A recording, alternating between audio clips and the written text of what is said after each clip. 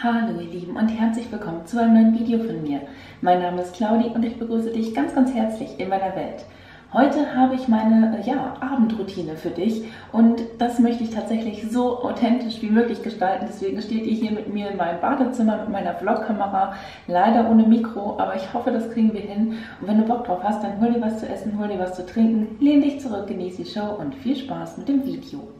Ja, es ist so, dass ich äh, abends ein paar Schritte mache, wenn ich hier im Badezimmer bin. Und das Ganze fängt tatsächlich an mit ähm, gegebenenfalls eine Haarkur machen. Und genau das habe ich heute vor. Und ähm, ihr filmt gerade auch sehr, sehr merkwürdig in den Spiegelschrank rein. Deswegen seht ihr das wahrscheinlich auch ein bisschen merkwürdig. Aber hey, ich hoffe, das funktioniert. Mal gucken. Ähm, genau, ich habe jetzt hier, das ist mein Spiegelschrank. Ihr könnt mal ein bisschen reinlinsen. Das ist jetzt eher so, was ihr gerade seht, das, was ich morgens so verwende. Aber das, was ich jetzt heute Abend verwenden möchte, dafür brauche ich tatsächlich zwei verschiedene Produkte. Ist einmal hier äh, so ein Hanfspray für die Haare und eine Spange, um meine Haare zu befestigen. Ja, das äh, werde ich mir jetzt mal eben kurz reinmachen. Natürlich lege ich auch so vorher mal meinen Schmuck ab. Das macht sonst keinen Sinn. Den lege ich einfach oben immer in das Fach rein. Und dann habe ich hier auch von meiner Littlebox mal in der My Littlebox gehabt. Ja, äh, fantastisch. Das ist so ein Schmuckding. Äh, ja, da kann man Schmuck dran machen. Das ist äh, einfach so ein, ja, äh, Zylinder oder so. Bevor ich mir die Haare in die Haarmaske gebe, muss ich sie natürlich durchkämmen. Ansonsten kriege ich die nachher unter Dusche nicht auseinander. Ich massiere mir das auch richtig in die Kopfhaut rein, weil das sehr, sehr, sehr, sehr pflegend ist und ähm, ich das gerade wirklich brauche. Ich habe sehr trockene, sehr schuppige Kopfhaut aktuell und ähm, ja, da gönne ich ihr mal, ne? So, dann nehme ich mir den ganzen Kladderadatsch, drehe mir das einfach ein, damit mir das gleich nicht im Weg ist. Und dann kommt die Spange drum. Zack. Es ist wunderschön, oder? Ach. Ich feiere das. das habe ich jetzt aufgebraucht, kommt dann in mein Aufgebraucht-Video, was ich morgen abdrehen werde. So, der nächste Schritt, den ich mache, ist erstmal Ärmel hochkrempeln. Und ähm, da ich mich ja heute geschminkt habe, das ist ja meistens der Fall, dass ich mich geschminkt habe, morgens, abends, irgendwann über Tag, ähm, sind jetzt erstmal meine Pinsel zu reinigen. Und dann habe ich hier so ein Pinsel-Waschvieh von Nuvia, weil ein Pinselset mit drin. Das äh, klebe ich mir quasi einfach in mein Waschbecken und dann werden Pinsel gewaschen.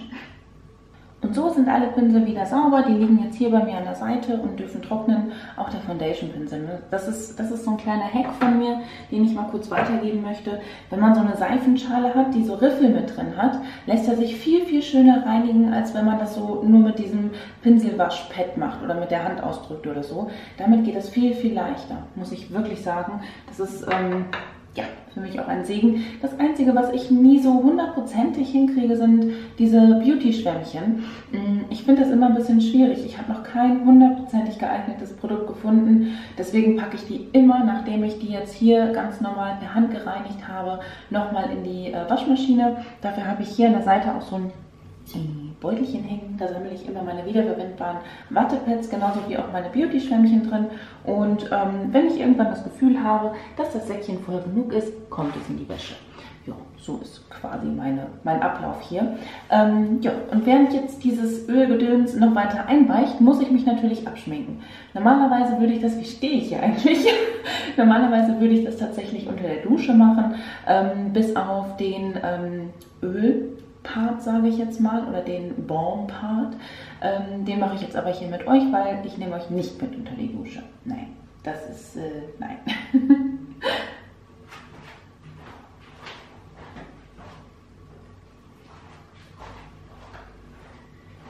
Ich musste gerade das Ding aus der Dusche holen, weil natürlich habe ich meinen Bubble Cleanser unter der Dusche stehen.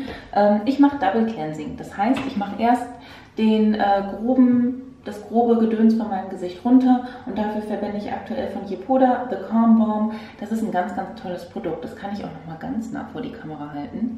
Das ist ein Träumchen, oder?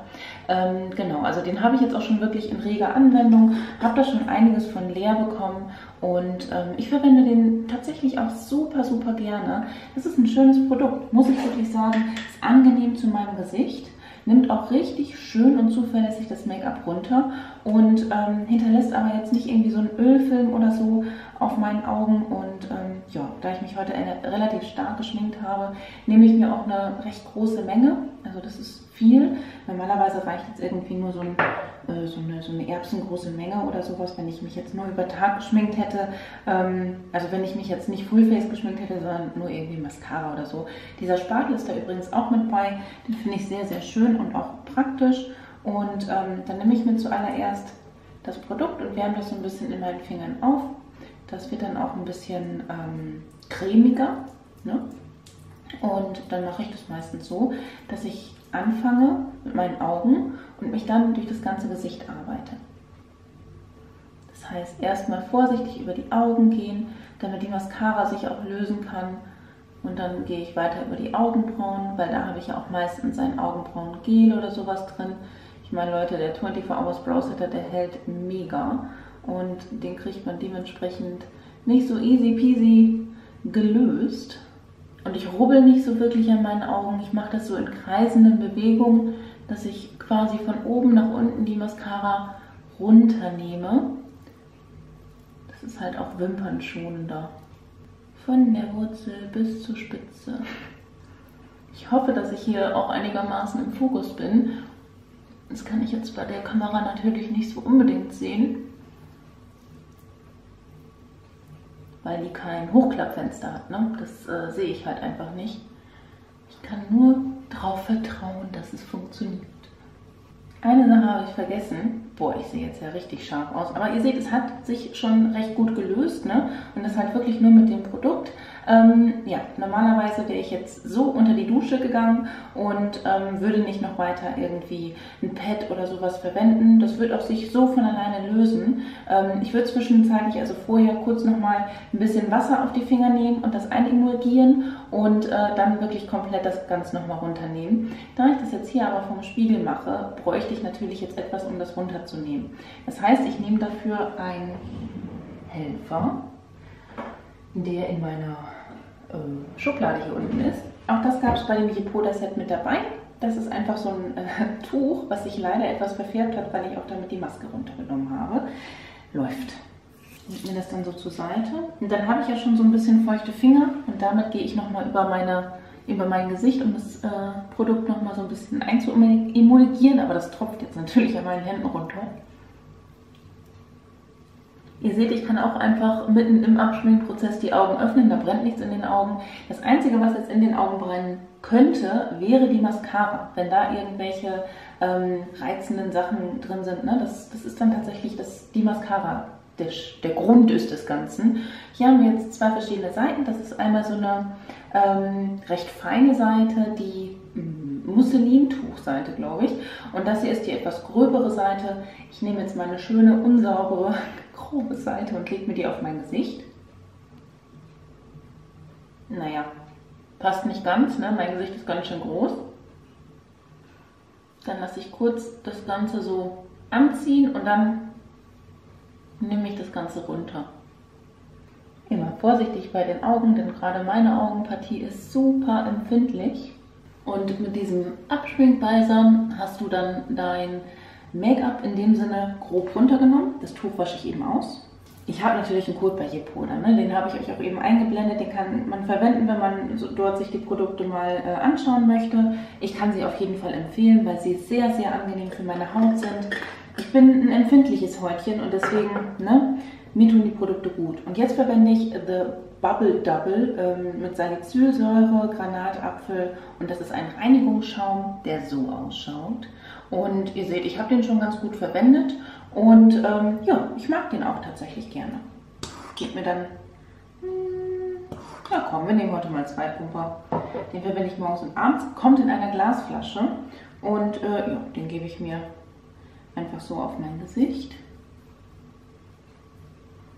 Und der reinigt halt auch wirklich jetzt die Poren. Der reinigt jetzt noch intensiver. Ne? Das ist halt diese Double Cleansing Geschichte. Der nimmt den Eisturm schützenfest runter. Das geht unter der Dusche deutlich schneller, weil man nicht aufpassen muss mit offenen Augen und so weiter. Ach, ich gehe da jetzt auch einfach so drüber. Dann nehme ich mein Tuch, mache meine Finger ein bisschen sauber und nehme mir das runter. Gleich werde ich natürlich unter der Dusche nochmal mein Gesicht mit Wein, äh, mit Wein, genau. Ich nehme Wein zur Reinigung meines Gesichts. Man gönnt sich ja sonst nichts. Nein, mit äh, normalem Wasser reinigen. Ähm, weil das kommt ja aus der Dusche raus, ne? Sonst würde ich jetzt mit dem Kopf mich hier drüber hängen, über mein Waschbecken und nochmal mir Wasser ins Gesicht geben. Das mache ich morgens tatsächlich so. Da muss ich nicht darauf achten, dass ich in der Kamera zu sehen bin, obwohl ich morgen tatsächlich auch meine Morgenroutine abdrehen werde. Da werdet ihr das Ganze dann auch nochmal aus so einer Perspektive sehen. Oder ihr habt es schon gesehen, ich weiß gar nicht, welches Video ich eher online stellen werde. da kommt noch gut was runter. Also ich merke das auch natürlich an meinen Wimpern, an der Mascara. Ne? Aber das ist klar, dass man das jetzt nicht mit dem äh, Balm einfach nur so runternehmen kann. Herrlich. Also es ist immer schön, wenn ich mich schminke. Es tut mir auch gut und es macht mir auch wirklich Freude. Aber wenn ich mich am Abend abschminke, wisst ihr, ich habe dann die Maske getragen. Ich habe das zwölf Stunden und länger dann drauf. Und dann nenne ich das auch tatsächlich Rotzepampe, weil ihr wisst nicht, was da alles mit drin hängt, wenn Sammy mir im Gesicht rumgeschnuppert hat. Oder meine eigene Rotzepampe durch die Maske, selbstverständlich. Und ähm, ja, das ist tatsächlich dann ein schönes Gefühl, wenn man einfach mal abends durch sein Gesicht waschen kann. Hm. Da kommt echt einiges immer aus diesem Tuch raus. Und ich denke mir immer, woher, woher? Habe ich mir das echt alles aufgepinselt? Was, ey? Ja gut, so ist das nun mal. Genau, das Tuch hänge ich mit so einem Trocknen auf und wenn es trocken ist, kommt es direkt in die Wäsche. Dann tupfe ich mein Gesicht einmal kurz trocken. Das mache ich mit einem Handtuch, was ich relativ häufig wechsle, also alle paar Tage. Das ist extra mein Gesichtshandtuch. Ne? Also ich habe ein Handtuch für meine Hände und eins für mein Gesicht. Dann werde ich jetzt mal unter die Dusche hüpfen, aber ich kann euch auch einfach mal zeigen, welche Produkte ich gleich unter der Dusche verwenden werde und wie es so unter meiner Dusche überhaupt aussieht. Ich muss die Kamera jetzt ein bisschen merkwürdig halten, weil äh, das nicht anders funktioniert. Ja, so sieht mein Duschfach aus. Da habe ich mein äh, aktuelles Duschgel, dann von PMD meine Reinigungsbürste, Fructis von Marie habe ich mir hier drauf geschrieben, habe ich die Spülung und das Shampoo bekommen. Das ist meine Intim Waschlotion von Yessa. Dann von Ahuhu habe ich hier eine Haarkur, die benutze ich immer dienstags und freitags. Und äh, hier von Yepoda habe ich nochmal hingestellt. Ne? Das ist ja einfach für morgens und abends mein äh, Double Bubble. Dann hier ist mein Duschpeeling, mein aktuelles drin. Das ist von The Body Shop, das Coconut Peeling.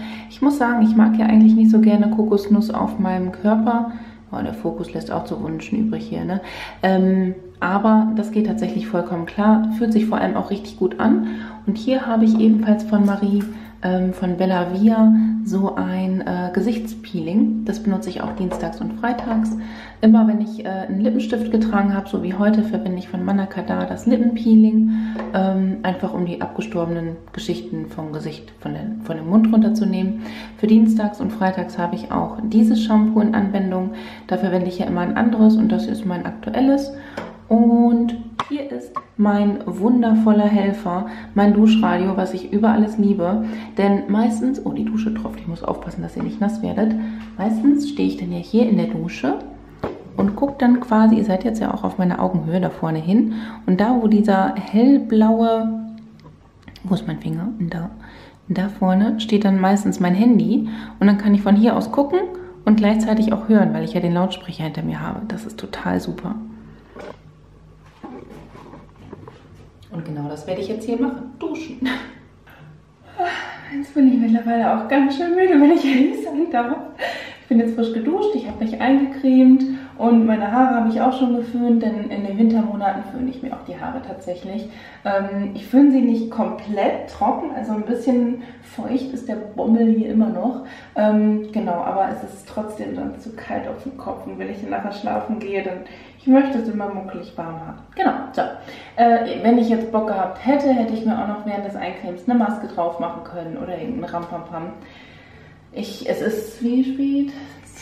Es ist 5 vor 12, okay, aber es ist Samstagabend, das ist vollkommen in Ordnung. Ähm, Ja, jetzt kommen die letzten Schritte von Yepoda. Habe ich The Mist Have Hyaluronic Acid Lavender Face Mist. Das ist dieses wunderschöne Schätzelein. Das ist ein ähm, ja, Gesichtsspray, was ich auch als Toner verwende. Und ich finde es so angenehm, weil das erfrischt und das pflegt halt auch. Also wenn ich das drauf mache, nimmt meine Haut das schön auf. Und ähm, ich habe so einen sehr, sehr angenehm pflegenden Film. Also nicht Film, das ist immer so negativ, ne? Aber ich habe das pflegende Gefühl halt irgendwie. So, das gebe ich mir morgens und abends tatsächlich nach der Reinigung direkt auf und dann massiere ich das oder streiche das so mit den Händen ein. Übrigens den Reinigungsschaum, das ist mir eben unter der Dusche in einem kreativen Moment eingefallen. Die Dusche und ich, wir sind so. Ne? Also wenn ich unter der Dusche bin, da habe ich die besten Geistesblitze. Nein, mir ist da eben eingefallen, als ich mein ähm, Reinigungstool gesehen habe, dass ich ja normalerweise das abends unter der Dusche verwende, das eben jetzt aber vor der Kamera nicht gemacht habe. Ich glaube, ihr verzeiht mir das, ähm, denn wie schon gesagt, es ist relativ spät. Genau. Und ähm, ja, das ist jetzt auch schon recht gut eingezogen. Die Haut ist halt noch ein bisschen feucht und das finde ich auch sehr, sehr wichtig. Jetzt habe ich vergessen, mein Serum hier mit rauszunehmen. Gehe ich nochmal in den Spiegelschrank. Da habe ich von, von Dalton das C Skin Essential Activator Serum. Das war in, der, ähm, in dem Dalton Adventskalender drin. Das sieht riesig hier aus. Ne? Es sind aber 30 oder 50 Milliliter drin. Ja, 30 Milliliter. Das ist eine ganz normale Größe und davon gebe ich mir einfach zwei Pumper auf meine Finger gibt es noch kurz zwischen meine Finger. Hat eine schöne Geschichte, äh, eine schöne Konsistenz. Ihr merkt, es ist spät. Und ähm, das arbeite ich mir jetzt einfach in mein Gesicht ein. Die Augenpartie spare ich aus, weil da kommt ja gleich noch die Augencreme drauf. Ich gebe das auch gerne so den Hals noch ein bisschen mit runter, weil auch da brauche ich Feuchtigkeit denn Feuchtigkeit pflegt. Und ja, dann gehe ich jetzt weiter und nehme die Augencreme. Da habe ich in der Luxury Box die hier drin gehabt, die Beauty Hills Pflegecreme für die Augenpartie. Und ähm, das ist dieses UFO. Ne? Sieht ganz nice aus, muss ich sagen. Von der Pflegewirkung her ist es okay. Das hat so eine, ja, ne, sieht aus wie eine Creme. So eine glatte Oberfläche. Davon gebe ich mir einfach ein bisschen was unter meine Augen.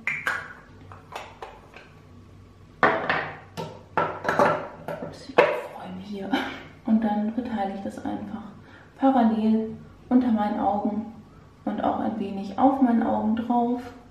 Jetzt kommt die Creme drüber, die Pflegecreme. Da habe ich in Anwendung die Charlotte's Magic Cream.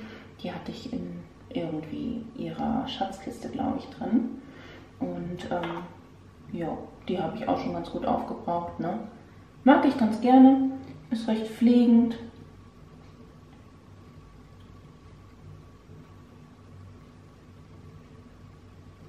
würde ich mir aber wahrscheinlich eher nicht nachkaufen, weil die doch recht hochwertig, äh, hochpreisig ist.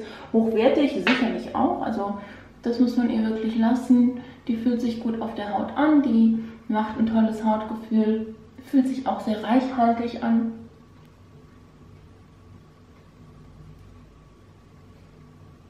Aber da würde ich tatsächlich mir eher die von Beauty Mates nachkaufen, die einen sehr, sehr ähnlichen Effekt hat. Ich habe die nämlich bewusst jetzt als Abendpflege gewählt, weil ich morgens ja die von Beauty Mates verwende. Und einfach um den direkten Vergleich zu haben und das dann täglich im Prinzip für mich vergleichen zu können, ja, äh, habe ich mir das so organisiert. Zack. Als nächstes sind die Lippen dran. Da verwende ich äh, upsala, irgendeine Lippenpflege, die mir immer so in die Hände fällt und die brauche ich dann auf. Das hier ist eine, die habe ich von der lieben Margret geschenkt gekriegt. Dreamy Winter Vanilla Lip Balm. Da ist dieser Fuchs drauf, ne? Ist schon hübsch. Mag ich gerne leiden.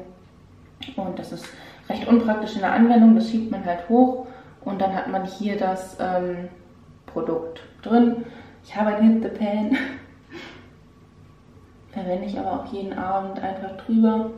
Und das ist einfach nochmal so, ne, jede Partie der Haut wird entsprechend gepflegt. Ähm, und als Abschluss mache ich meine äh, Wimpern- und Augenbrauen-Serum-Geschichte drauf. Da habe ich von Grande Brow das Brow Enhancing Serum.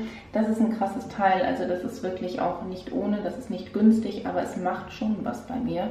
Ähm, ja, ich bin sehr gespannt, wie das aussehen wird nach der Anwendung von ich glaube, vier Monate oder drei Monate.